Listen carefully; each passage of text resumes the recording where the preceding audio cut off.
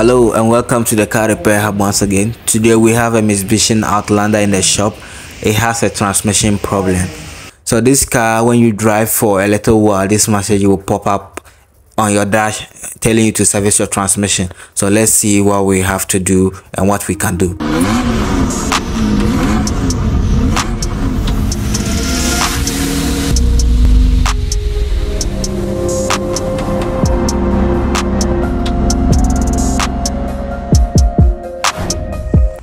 I drove the car around just to confirm the customer's complaint. But when you are stationary or when you off the car then you start it again, you might not be seeing that message. But this one is always on. The four-wheel drive is also having a problem with a different code. But today we'll be focusing on the code with the transmission. When you drive for about one to two minutes, it's not even up to for some few seconds, it will pop out uh, service transmission, transmission service required and you see the drive flashing. So this is the code and this is what we'll be addressing. So it took me a little while to figure where this sensor was because I've checked online almost uh, the whole day. I couldn't find where that sensor was located. So that's why I'm recording this video to show you where to find the transmission output sensor for this car. Mine is a 2016 Mitsubishi Outlander and I think it will be the same for the other models since maybe they will be using the same transmission if not the same transmission but uh, the same similar design. So the, the transmission output speed sensor is located at the back of the transmission. So you have to take your airbox out first. You need some 10 MMT then a 10L spanner flash screwdriver first you disconnect this one that's going to the throttle. Then you look down there you see a number 10 mm there. You unscrew that one too. The MAF sensor is already disconnected so you just pull this one out. So that's the air box or the air cleaner box. That's the air box that one is out. So the sensor is located far behind the closer to the steering shaft. So it, so the sensor is the one the cable is going down there to. Uh, my camera is not focusing for you to see but it's way down there. So when you take the airbox out and you actually look down there you'll be seeing it closer to the stabilizer bar there.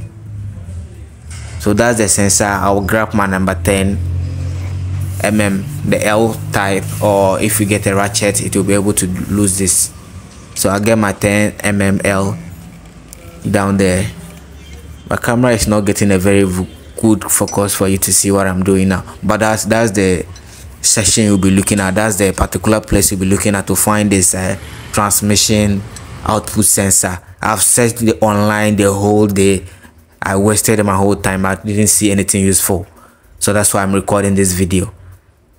In case you have this code and we are looking forward to find the sensor. That's where it is. I've done my live data already. Before i go ahead to replace the sensor i've done my live data already. But using the Autel i couldn't get any data page mentioning transmission output sensor but i saw vehicle speed. Vehicle speed. So when i was driving i saw the speedometer reading but that vehicle uh, uh, vehicle speed wasn't reading. So that's why i got to realize that no that might be my uh, my my output. So this what happened. The connector supposed to be three pin and the sensor too is a three pin. So the one of the pin got broken because of water intrusion inside there. So yesterday i disconnected it then i saw what happened. It's today that i'm getting the part and the owner just bought a car so that we replace it. So this is the replacement part. I got it with the socket together even though the colors are not matching it doesn't matter. So i'm going to use this connector in place of the one that have been spoiled by water. I don't want any headache. I want to be free. So when you see a connector that's not very good like if you can get a connector get a connector and replace it so that you will not have back and forth thinking that the sensor is not good. Meanwhile you just have poor connection. So this is what i'm going to do. Since there are three wires i will just arrange them uh, just take off the first one connect it to the first side of the replacement connector then take the middle one connect it to the middle side of my connector and then take the last one and also connect it to the next side of my connector. So let's start. So i start by disconnecting the black one. I cut that one off. Strip the mouth. Then align it with this one. First one to first one yeah that's it. So i'll connect it to that one wrap it around make sure it's very tight. I know i don't have soldering iron i don't have heat shrinks and those stuff. I don't have. But this connection i'm doing i promise you is going to stay. Nothing is going to happen. This is very tight. And i'm going to use insulation on it. So if you don't know how to do uh, insulation that will be a problem because you have to know how you wrap the tape around the wires. So that there will not be any side of the wire that is still open so that water might intrude in affecting your connections. So this one is done. So let's move to the middle. That's the blue one. Using my side cutter? Then I strip the tip of it. Put this one. You see the way I'm doing my connection? You tie it then you bind it together. So with this type of way I'm doing this connection there's no way uh, vibration or something is going to cause this wire to make loose. Because you, you twist it around then you, you you bind it together. You twist it like you are doing dreadlocks. You twist it together. So there's no way vibration or uh, tensioning is going to pull off the connection unless the wire strands itself break off. So we are moving to the third one that's actually blue on the replacement connector but on the third terminal that's uh, brown. So that, that's why i'm telling you the colors are not the same. So you have to be careful with how you are putting it. Because by accident if you interchange the position of the wires which means you have changed the whole wiring diagram of the thing. Maybe you have used a 5 volt reference or is it 12 volt reference for a signal pin.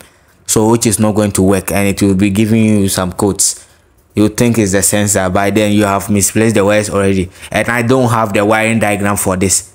That was uh, one of the reasons why yesterday i couldn't finish this workup. Because i didn't have any information as to where this sensor is located. And i don't have the wiring diagram. So if you're having the wiring diagram you can go ahead and do whatever you want to do with it. But when you are doing this to make it simple just do it pin by pin when you cut the first pin you join it to the first pin second pin to the second pin third pin for for the third pin. So pin for pin and everything is going to work in your favor so that you do not struggle with this thing. Something that might be simple as just connecting and joining you cause a whole lot of problem for yourself. And you cannot figure it out because right now all the three wires you have to keep changing them until maybe you get the code clear uh, you're going to waste a lot of time doing that. So just do it this simple way then everything will be fine. You save yourself some time and the problem too will be solved. So i'm done with the connections. Just adding some more tape on it to hold that uh how do they call it? The pvc is it conduit? Should i call this conduit? Or trunk? Or tube?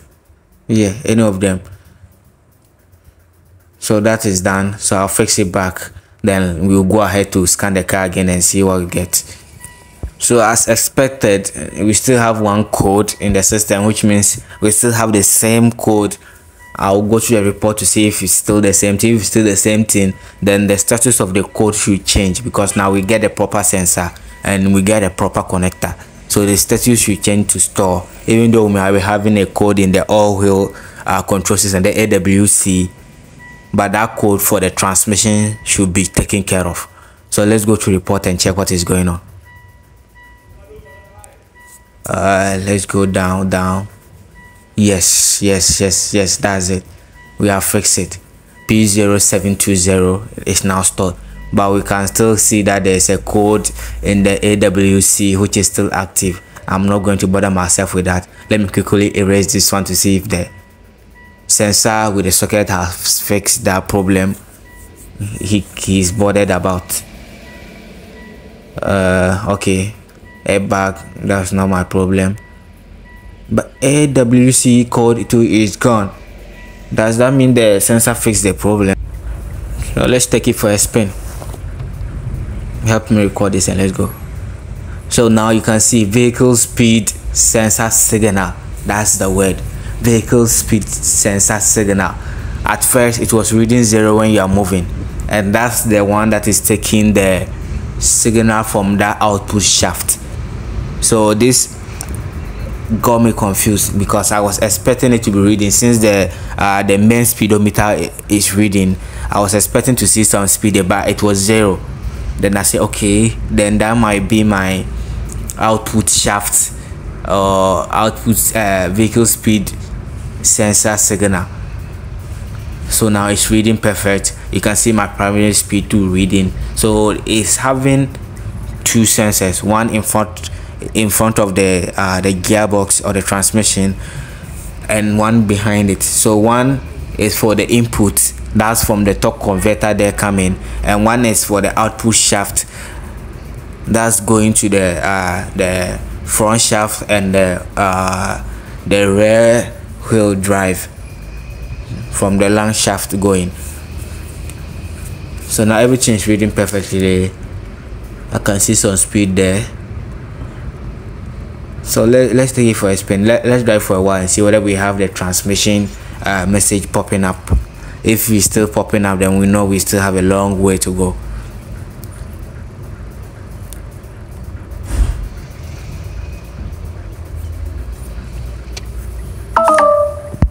so everything is still perfect. We've been moving for a while now. Let me try to speed it up. Let's speed it and see whether the speed will increase with the vehicle speed or it will remain the same. Okay it's actually increasing. It's getting to 31 now. 32 33 34 36 37 38 okay let me slow down a little bit and see. Uh, okay it's working it's working. It's, it's actually coming down then. When you speed and it's increasing. This is amazing. So every time you have to be looking at your data PIDs and remember information is very important. If you don't have the right information this work you will not be able to solve anything. So the moment you don't have the right information don't try to force yourself to do anything because you might just be doing the wrong thing all this while. So it's better you waste a lot of time to do your homework well than to be on the job and you don't know where to go next and what to do next. So it's better to let the customer know that yes you have a problem but this your problem. I have little knowledge on it or i have less information on it so you go i'll look at the information then i'll see what we can do. Then for you to be on the car for hours without solving anything you might be seen as very very incompetent because you are you are just on the job and you are not fixing their problems. Remember what the customer cares about is their problems. If you don't solve them they are just as useless as any other technician. So just to remind you now the transmission everything is off but we still have the 4 wd system uh, service required. Wiper watchfully i'm not bothered about that. So he's going today. We will look at what we have to do about that code in the the awc thank you for watching. This is the car repair hub. See you next time